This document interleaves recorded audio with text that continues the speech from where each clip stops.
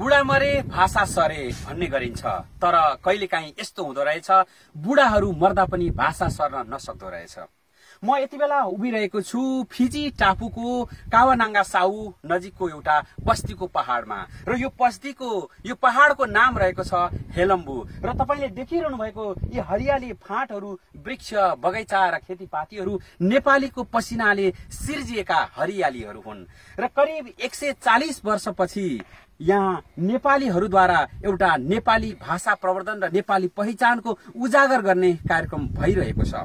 तपाईँहरूलाई थाहै छ कि नेपालीहरूलाई बेलायती सरकारले यो टापुमा उपनिवेश गर्दाखेरि आजभन्दा करिब एक सय चालिस वर्ष अगाडि भारतीय कामदारसँगै भारतका विभिन्न सीमावर्ती क्षेत्रबाट र नेपालका विभिन्न जिल्लाबाट जबरजस्ती फसाएर यहाँ काम गराउनको लागि हाम्रो नेपालीहरूलाई लिएर आएको थियो। र त्यसपछि उहाँहरू नेपालसँग कहिल्यै पनि जोडिन सक्नु भएन।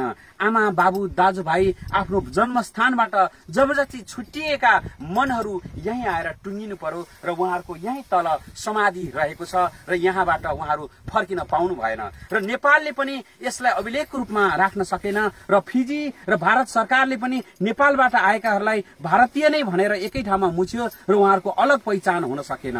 र यस पछाडि जब पछिल्ला दिनहरूमा यस विषयमा शोध कार्य र अनुसन्धान हुन थाले र इतिहासका विभिन्न रहस्यहरू भेटिन थाल्यो। र अहिले हामी यो कावानाङ्गा साहु नजिकमा तपाईँ देखिरहेको यो बस्ती छ पुरा यहाँ नेपालीहरूले भरिएको छ।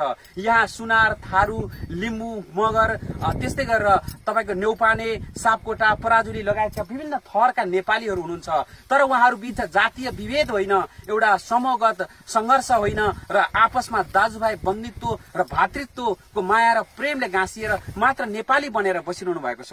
उहाँहरू नेपालसँग जोडिन चाहनुहुन्छ तर कुनै त्यस्तो पुल भइदिएदेखि हामी सँगै नेपालीसँग जोडिने थियौँ भन्ने उहाँहरूको जमर्को छ। त्यसैले गर्दा हामीले यहाँ नेपाली भाषा प्रशिक्षण नेपाली पहिचान विस्तार र नेपाली सङ्ग्रहालय सङ्ग्रहालय पनि यहाँ हामीले स्थापना गर्न लागिरहेका छौँ र फिजी सरकारसँग पनि हामीले यसै विषयमा अहिले कुराकानी गरिरहेका छौँ। यदि तपाईँ पनि संसारबाट हेरिरहनु भएको छ र यो फिजीमा आएर नेपाली भाषाको उजागर गर्नको लागि र नेपाली प्रविधि विकास गर्नको लागि सक्नुहुन्छ र सहयोग पुर्याउन सक्नुहुन्छ भने तपाईँ पनि यो सहयोगीको सूचीमा तपाईँ कुनै स्वयंसेवक बनेर यहाँ आउनको लागि अथवा तपाईँ कुनै पनि प्रकारले सहयोगी बन्नको लागि सक्नुहुन्छ।